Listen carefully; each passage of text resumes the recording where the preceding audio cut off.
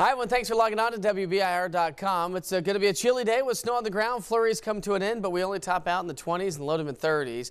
Winter storm warning continues for the mountains until 7 o'clock tonight. Advisories between 4 and 6 o'clock will be allowed to expire through the day today. We're just wringing out the atmosphere. Uh, the airflow out of the northwest that's helping to uh, just squeeze out what available moisture we have, which is not much. That would last through about 6 or 7 and then slowly fade away. So again, negligible in most locations when we're talking snowfall forecast, except for the highest peaks of the Smokies.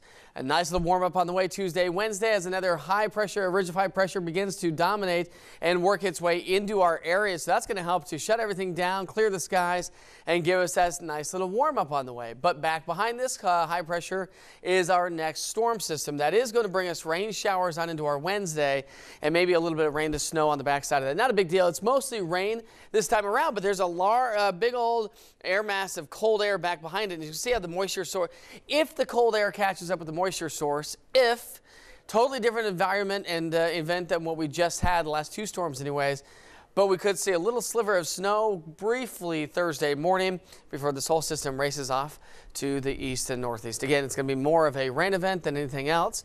Back in the seven day forecast, it's going to be much colder behind that cold front, 50 degrees Wednesday, but we're in the 30s to round out the week and head into the start of the weekend. Have a great day.